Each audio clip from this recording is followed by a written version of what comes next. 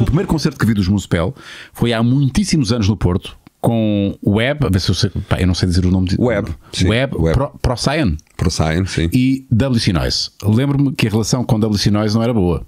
Seriam os primórdios da guerra. Metal do Norte versus Metal do Sul.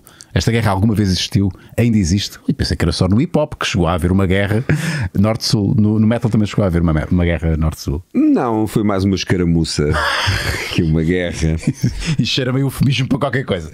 Escaramuça. Não, sim, uma escaramuçazinha. Mas ouvias de Epá, facto?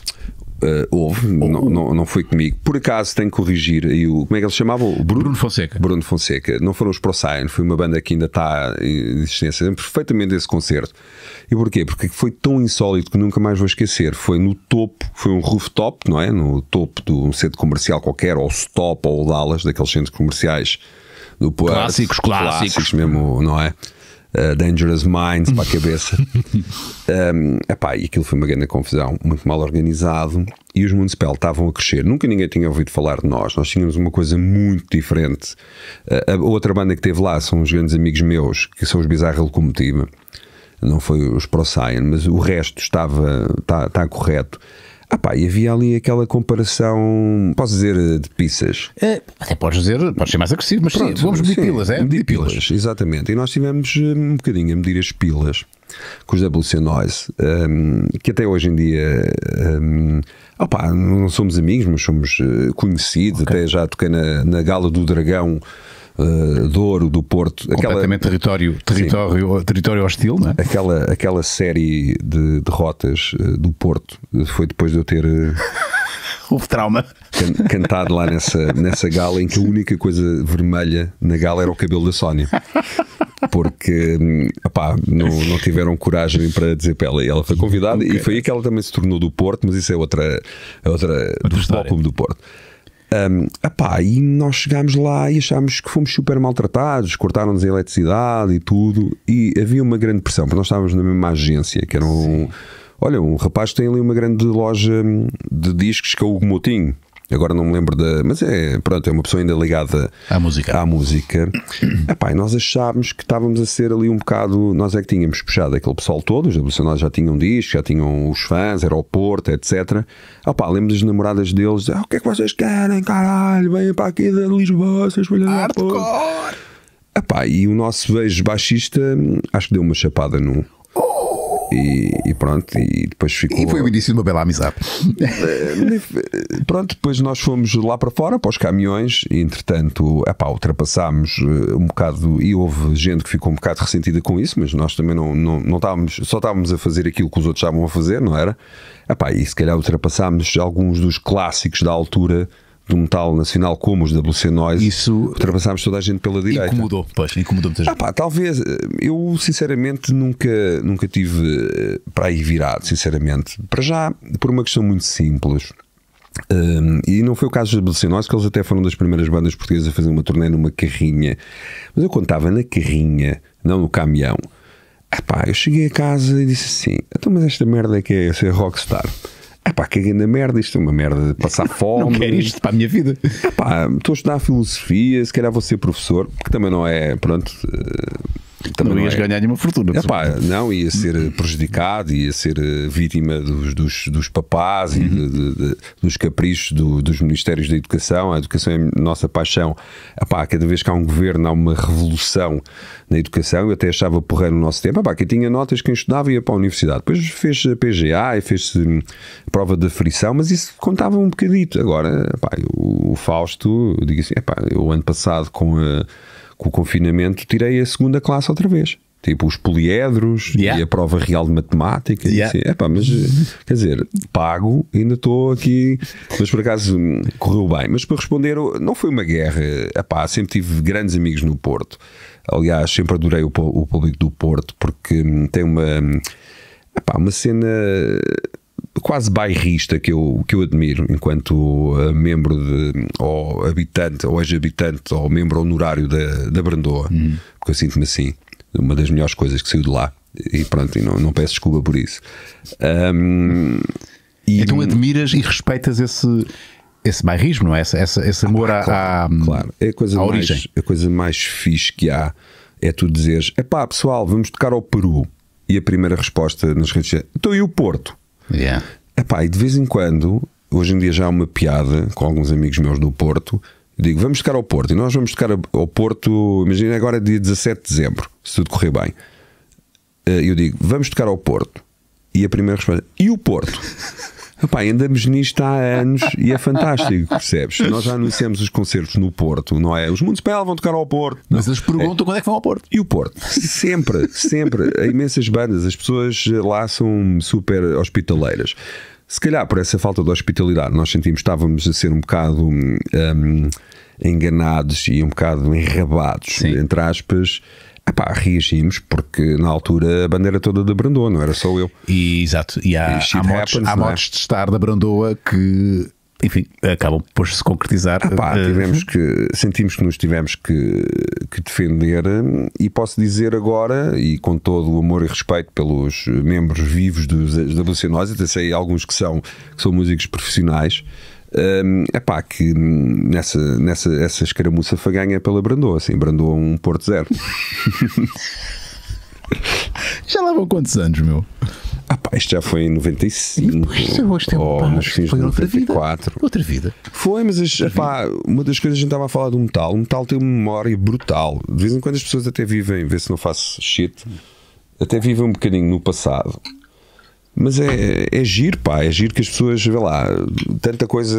Nós estamos em 2020 eh, e a primeira pergunta vem de uma coisa assim. Yeah, é verdade. É, que havia primeiro. um fogo, eh, um fogo questionante dentro do, do Bruno, não é? Sim, ele tinha que, Que- tinha que ele tinha que tirar Mas mesmo a nível. É, é estás a falar disto, porque de facto, mesmo a estética do metal não se alterou muito ao longo destes. É pá, destes anos todos, estes 25 anos. Pelo menos, não é? Sim, há, há muitas coisas modernas, mas isso hum, eu acho que hum, eu hoje em dia tenho, sabes que eu estou sempre a contar histórias e a teorizar. Eu acho que hoje em dia, principalmente no heavy metal, para bandas já como nós, é uma espécie de museu, percebes? Sim. Nós temos os álbuns novos, que são exposições novas. Depois temos o fundo de catálogo, de vez em quando tocamos. Olha, vamos, o Wolfart fez 25 anos, vamos tocar. Gravámos um DVD no Campo Pequeno, que os- as duas primeiras horas do concerto foram 3 horas. Pá, foi uma confusão com o IGAC. Porquê que vocês lançaram um álbum de três álbuns? Eu assim, é pá, porque não cabia em dois. Não podia explicar de outra maneira. Hum, há muito essa, essa hum, nostalgia, digamos assim. Ah pá, e depois as pessoas têm que sair pela loja de souvenirs, por isso é que o metal hoje em dia ainda é das músicas que mais vendagem tem a nível de todos os formatos. Merchandise, cassetes. Ah pá, se fizermos cartuchos, ve- vendemos, Yeah. porque depois mistura-se aqui várias hum, coisas que tu falaste: a cultura, a certa inteligência, o tribalismo Sim. também. E há um culto, no fundo. Sim, é? e também aquele culto da música, porque nós eh, tomamos isto como garantidos. E quem teve pais que gostavam de ouvir o, pronto, música underground Pimba ou dos primórdios do Pimba, nós tínhamos no, no rádio um leitor de cartuchos. Sim. Pá, os cartuchos são fitas boas e é um formato muito melhor que qualquer Spotify ou YouTube. Está ali quase no vinil. É quase um Epá. vinil. É o vinil das fitas. É, ainda é melhor porque, ao fim e ao cabo, a música é gravada em fita e depois é impressa ou, ou digitalmente agora, não é? Ou em vinil, que voltou, ou cassetes. Nós fizemos cassetes dos Municipal ah, pá, e vendemos montes de cassetes. Eu até eu me ofereci a mim próprio. A Sónia já não sei o que é que me deu nos anos, ela vai me matar. Não sei se até não me deu nada. Mas tem que Isso é muito comum, meu caro. Eu também já sou, Pois, já sou um long runner eh, em casamentos e sei o que isso é. Às tantas. Tem- Para quê? É, sim, tem, tem que ver. Mas eu ofereci-me a mim próprio um leitor eh, pá, cassetes? De cassetes. E fui buscar cassetes. Epá, e tinha um grande som. E a Sónia agora anda a ouvir Lady Gaga. Fala, fala muito, uma mulher muito feliz, mais do que eu.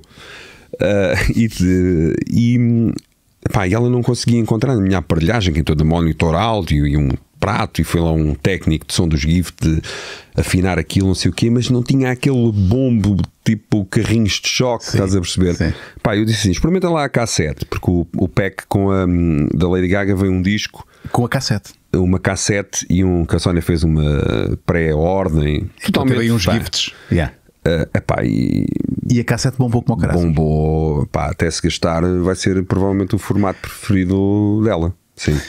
Eu tenho que. Ô, Marco, estás aí, não estás? Estás aí desse lado, não estás, Marco?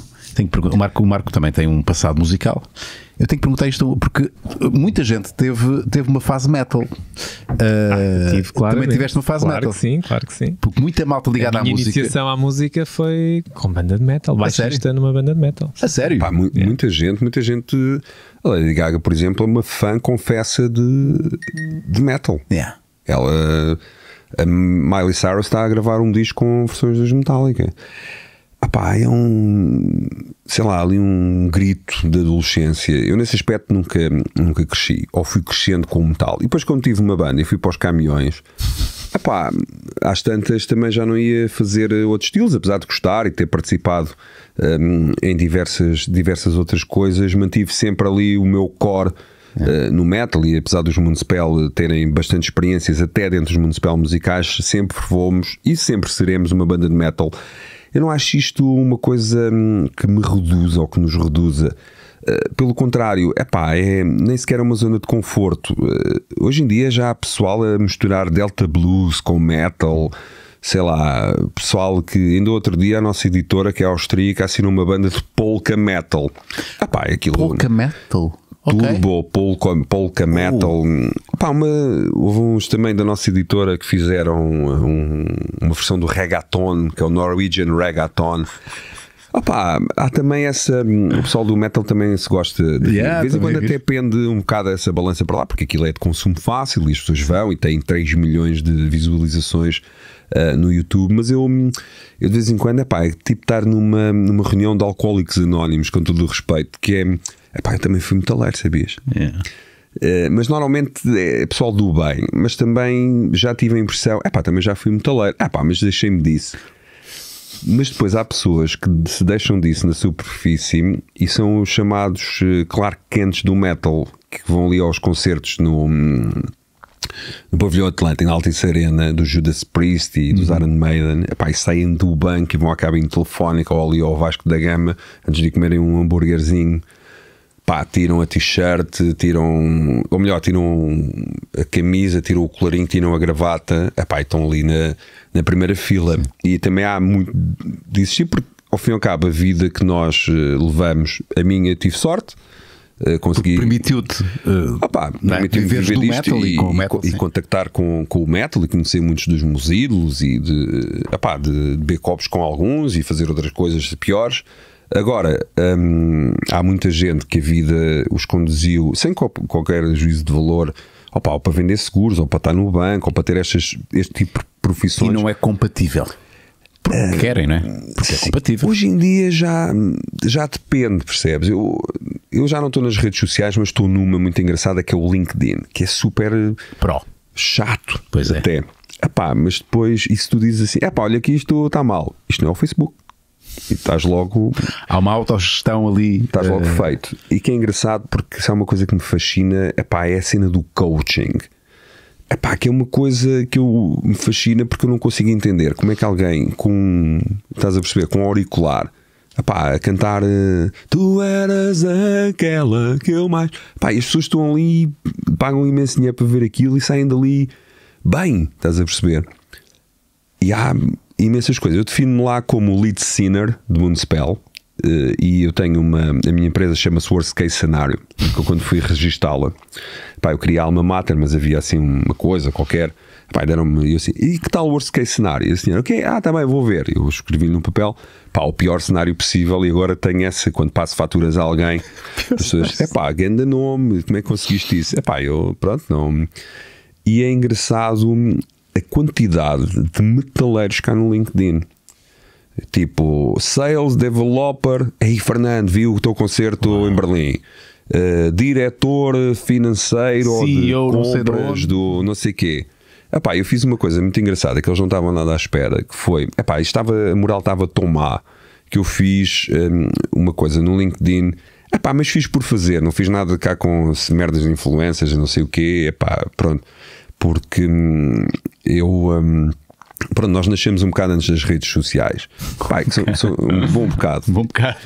E custa-nos a, a habituar, por exemplo, eu quando quero. A minha história do Instagram é brutal, porque eu tinha um Instagram. Nós Não temos, tens. Tu tens, eu o não tenho. tem, mas tu não tens. Eu não tenho. Em 2015 eu estive na Suécia a gravar e convidei a Sónia para ir lá. eh, ver a Suécia. Ela detestou a Suécia. Odiou, disse que, não, que as crianças não se riem na rua e que não havia barulho e que era tudo muito esquisito. Ah, e o Fausto também foi, foi a primeira vez que ele viajou de avião. Ele era, ele Era a única pequenino. criança que se ria.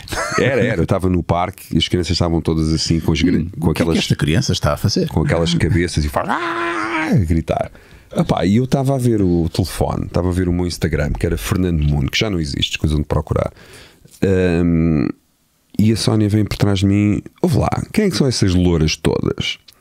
Eu disse, "Epá, são fãs de Municipal. E, e eram fãs de Municipal porque o meu ahm, Instagram estava público. Sim. Mas ainda não havia maldade no Instagram, já foi em 2015. Não havia aquelas coisas eh, Sim, é de vez em quando mandam à Sónia. Exato. É pá, não sei como é que continuas. Eu saí porque não tinha paciência para me chamarem isto e aquilo e eu não podia responder por ser superior e não sei o quê. Epá, não, não conseguia. A brandoa dentro de mim não me deixava não responder. Epá, e depois era um, não interessava nada e era um lose-lose situation, não é? Epá, Mas ela detectou, eram, eram comentários? eh, Não, eram. Epá, eu estava a fazer scroll. Ah, e aprecia-te algumas lo- Pá, loiras parecia- no feed. Parecia assim aquelas cabecinhas, estás a Ah, perceber? sim, ok. Aquelas criadoras de conteúdos digitais. Certo. Um, epá, e a Sónia, porque é que essas loiras todas? E, epá, ó Sónia, são fã. E eram, definitivamente não era por ali. Eh, aquilo também não era um Tinder. Acho que o Tinder ainda, Ainda- existia. ainda não era. Ainda não era. Epá, e disse-lhe assim: queres que eu apague? E ela assim: epá, não sejas parvo. Eu, apago já isto, então isto não me interessa nada, não- já tenho a ti, já não. Epá, e apaguei. Ela, és tão parvo, não sei o quê. Mas ela ficou contente. Ficou Pá, super isso é contente. bonito, aliás. Tu apagaste, o- tu Apaguei. apagaste o teu Instagram. apaguei, tipo, no strings attached, não é? Porque, sim, por amor e pá, para não estar a ouvir. impulsivamente, eh, sem- Impulsivamente, disse-lhe. Disse-lhe, a Sónia uma vez disse uma cena muito fixe sobre as mulheres, que é, eh, isto não é sexismo nem nada do género, que é, hum, mas é quase que entrar naquele segredo que a gente não sabe. E nem todas as mulheres são assim, porque as mulheres hoje em dia também têm mais que pensar e, que fazer do que pensar em flores e, o que é, e, e viverem na expectativa do que é que os homens trazem ou deixam de trazer. Mas isto foi neste, neste contexto. Ele disse-me assim: opá, eu hum, tens que ver uma coisa, uma mulher, de vez em quando, eh, não está a pensar que tu vais trazer flores, eh, nem tu, e tu não trazes as flores, mas ela fica desiludida à mesma. Eu assim fiquei, pá, isto é ultra. é, isso é mind blowing. Peraí, É, peraí. Não estás foi- a pensar e tu também não. Mas, mas ela fica desiludida se não trouxeres. Exatamente, há ali uma expectativa não eh, avisada Sim. epá, que nós não, não, não podemos ganhar. Portanto, as oportunidades que Tu temos dessas foram as tuas flores. Tu deste-lhes flores, deste-lhe flores nessa ação.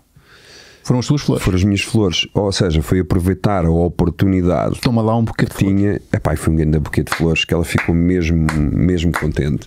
Pronto, É assim falando, faz. falando no, no LinkedIn, epá, eu, a coisa que tenho aprendido é que isto não gira à nossa volta. Eu, sinceramente, se a Sónia, a minha mulher que eu amo de morte, fica contente por eu não ter Instagram, man. Eu tenho o dos Municipal se eu quiser fazer Yeah, alguma coisa é ou ver, epá, aliás, vou à. Vou àquela coisa, aquela página de. hum, que eu agora só leio estatísticas para ver se chegamos a muita gente e se conseguimos vender aquilo.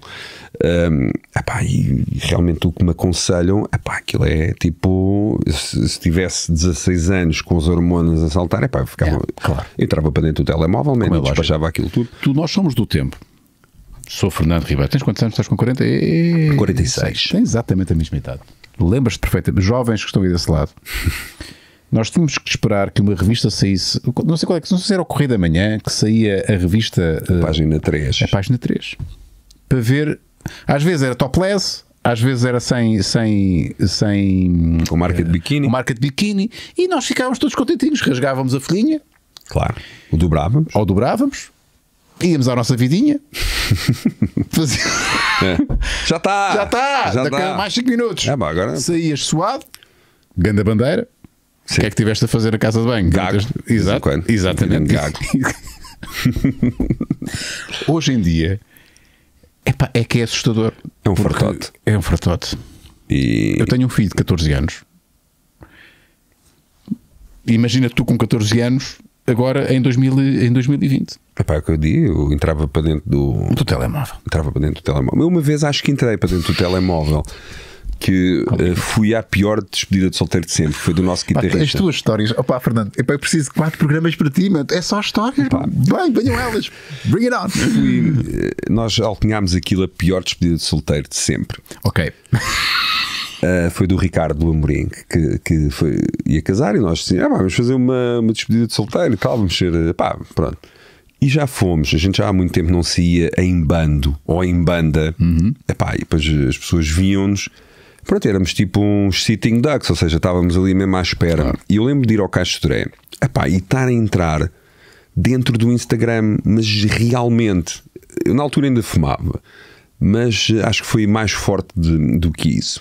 Epá, depois tentámos ir ali a um bar que na altura fazia strip, que era ao lado do daquele que fechou uh, agora do Sabotage. Sim. Epá, éramos aí uns 11 gajos e não nos deixaram entrar num bar de strip 11 gajos. Como assim? Porque era só para casais. Epá, Como assim? Isso faz sentido. A Lisboa que eu. Não que é mesmo a Lisboa. Conhecia. Antes era contra casais, não entravam, só yeah. entravam gajos sozinhos. Óbvio, Como é eu até disse ao porteiro: é pá, isto é muito esquisito, mas vocês estão a perder aqui o negócio todo. Porque é que uma pessoa vem. Quem é que vem? Opá, é vamos, ali ao, vamos ali ao strip no Caixa Direct. Está bem que hoje em dia as coisas são muito mais para a Frentex. Epá, depois acabámos num bar de metal e o Ricardo ganhou um sorteio uh, para ir uh, um bilhete para um concerto que nós íamos tocar, anyway, para um festival. Ele ganhou nesse bar? Sim, ganhou porque havia um sorteio de um, um DJ. Sorteio de uma banda, que, de, de, de, um evento onde vocês iam sim, tocar. Ganha, ou seja, ele ganhou um bilhete para o seu próprio concerto. Muito bem. Pá, ganda prémio. Ganda prémio. E sim, disse, pá, o teu casamento, disse logo, o teu casamento vai ser brutal, porque tu despediste. É um, exatamente, foi, foi, foi brutal. Foi, foi, uma merda. Mas falando do, do LinkedIn, uh, só para concluir, ah, pá, fiz uma coisa que era 10 coisas portuguesas que me fazem feliz. Um, e comecei pelo atum tenório. Epá, atum tenório? Atum tenório. O que é que, é esse atum de extraordinário? Epá, ah, é o, pois, exato. É, é, é, digamos, o, o filé mignon do atum? Epá, é, é o rei, rei atum. Atum? Tu, tu vais receber tanto atum tenório agora recebi, em casa? Já recebi, mas podem, podem mandar eh, outra vez. Epá, as senhoras foram isto, super simpáticas. Ah, exato. Tem esta, eh, esta... Eu compro em todo caso e consumo. Epá, e é uma coisa. E fiz aquilo, epá, e tive ali um meu momento viral no LinkedIn que é muito, muito estranho e que é muito diferente do Facebook. Estás a perceber? No, pá, no Facebook, ou fazes uma coisa que as pessoas gostam e és brutal, ou fazes uma merda e és, um, e és uma merda. Pá, és uma merda. Pronto, não há ali aquela área cinzenta. Aqui houve pessoas que disseram: pá, isso é Dolphin Save. Até houve ali um bocado de polémica, mas nós no LinkedIn não comentamos. Estás a perceber? Okay. Deixamos aquilo resolver-se por si Tem próprio. Gestão, autogestão. Ou então vai lá alguém com, estás a perceber, com o microfone de lapela e canta uma cantiga qualquer e o pessoal eh, acalma-se. Uh, epá, recebi montes de coisas, porque era Bolacha Maria, Fendo Portugal. Ah, o Fendo Portugal. Pá, essas coisas que eram bastante fúteis, uh, diga-se de passagem, mas que nos davam algum prazer. Depois houve aquela coisa, ah, essas coisas não são portuguesas. Hum? Assim, o bacalhau não é português. Pois não. Mas quem é que vai dizer que o bacalhau não é português? Eu não me atrevo a dizer isso. O bacalhau define uh, Portugal. O bacalhau é Portugal. Pode não existir cá nas nossas águas, mas, mas nós é que. Sim, isso é, é um detalhe. Mas nós isso é, é, um que, detalhe. é um detalhe. Nós é que o levamos ao estatuto. Pá, eu acho que há uma ilha. Bacalhau com B maiúsculo. Se nós podemos nos gabar de qualquer coisa enquanto país, é temos uma ilha da Noruega, que é um país super civilizado, com muito menos Covid e todo já. Que pá, depende de nós. Pá, que depende de nós. Nós temos uma ilha que trabalha só. Para Portugal. Para para Portugal, epá, e é uma das coisas que nós somos muito salões com o Municipal, uh, epá, e levamos sempre cenas Tipo azeite, vinho, levas sal. bacalhau. Claro. Epá, tu claro. levas bacalhau em Le turnê? Levo bacalhau e das últimas coisas eu que em turnê não levamos porque epá, estraga-se. Pois. Não temos onde cozinhar. E cheira muito mal. Seco. Epá, isso em turnê não é, para, não é um problema. porque epá, quando estás nos caminhões eh, tens que hum, Pá, eu já Tens de conviver com os odores. Sim, Pronto. eu por acaso tenho sinusite crónica. Pronto, portanto, é uma benção. O, o, meu olfato não é dos meus sentidos é mais, benção, mais é apurados. E em turnê é uma. É uma benção. É uma benção, mas as coisas também mudaram muito. É pá, eu lembro-me de, de, estar numa turnê com toda a gente a fumar, inclusivamente dos bancos. Os bancos são as camas, hum. portanto, são aqueles bancos de submarino, Sim. ou os beliches. Sim. O pessoal a fumar ganzas lá. Eu, a primeira vez que vi, vi erva, eu disse: que é esta merda? E fiz assim à erva, espalhei-a toda e aquilo é muito pegajento, porque peganhoso por causa do, do, das alcatifas, não é? Sim.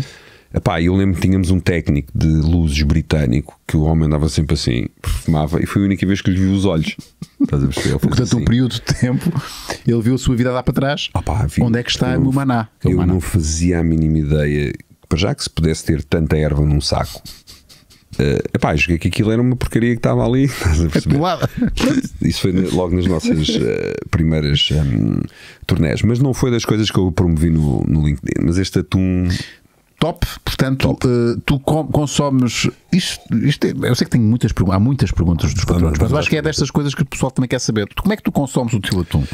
É diretamente da lata ou fazes qualquer coisa com o atum? ah pá, posso fazer qualquer coisa. Se me dissesse o que é que levavas para comer numa, numa ilha deserta, levava atum. E atum tenório, Ah claro. pá, de preferência. Mas hum, Em azeite, em óleo ou em água? pá, eles mandaram-me em escabeche, mandaram-me atum, não sei o quê, e era todo super bom. Super bom. Eu normalmente faço um bocadinho de grão, um ovo cozido e meto lá o atum, ainda por cima este é bonito. Ali top fica gourmet. e tempero com o azeite que vem lá dentro, que as pessoas mandam fora, que é um desperdício. Well done. Bom, vamos então às perguntinhas. Vamos a isso. Isto é impossível, damos conta disto. Eu nem sei, vou escolher assim uma calhas. Pode ser, é a única forma que tenho muitas perguntas, são para aí quase 40. Pá, é impossível. Pá, vamos fazer o nosso Peço, imenso, peço desculpa, malta, mas eh, tem que ser. O critério vai ser aleatório. Ahm, José Carlos, eh, boa, eh, boas Lorde, equipa Malupileza e Fernando. Queria perguntar ao Fernando a sua opinião do vocalista Corey Taylor, Slipknot, Stone Sour. Para mim, um dos melhores no meio do metal. Grande abraço e continuação de um bom trabalho. Isto é aqui um tema é um assunto muito específico, mas, Ah, pá, e, mas há. Sim, o Corey Taylor é vocalista de uma das maiores bandas contemporâneas do heavy metal. Mas há aqui polémica à volta disto? Não polémica nenhuma. O Corey Taylor é até uma pessoa bastante vocal. Eh, não só a cantar, mas é um gajo com opiniões, eh, um anti-Trump, eh, uma pessoa muito crítica, não só na sua música, também extravasa um bocado. Mas uma pessoa que também abandonou as redes sociais, é pá, porque não tinha paciência, era muito trollado. Agora, como, como vocalista, é um vocalista excelente e o Slipknot, apesar de serem uma banda vá, que eu poderia ter embirrado por, por virem do new metal e ver aquela coisa old school, new school, pá, foi uma banda que se tornou gigantesca. Provavelmente é a maior banda de metal do mundo hoje em dia, americana, tirando os Metallica, etc. Pá, é uma pessoa que eu por acaso admiro bastante, como, como vocalista e também os livros que ele escreve e tudo. Pá, tem opiniões, é um gajo que enfrenta, entre aspas, o boi pelos cornos. E, e gosto dele. Porque é preciso ter uma grande coragem e, e isto é transversal a qualquer género musical e qualquer arte. Um artista, quando utiliza a sua, a sua exposição, o seu mediatismo para, para fazer alguma espécie de ativismo ou, ou defender uma causa política, é, é, é arriscado. É sempre, é sempre ali uma, há sempre ali uma, uma dose de coragem, eh, assumida ou não, eh, porque depois vem o backlash todo. É, pá, tens de ter, eh, tens de ter um, um- um grande coração e tens de ter uma grande, um, um grande jogo de cintura. Para além do Corey Taylor, por exemplo, para não falarmos só de, de gajos, eh, a miúda, a miúda não, a senhora a Shirley Manson dos Garbage. Hum. Pá, ela é uma ativista e diz muita coisa, Epá, e leva um backlash eh, eh, fodido mesmo. E ela está lá e, e pronto. Eu, sinceramente, como artista, epá, e como já, por- já, já sentiste isso na pele?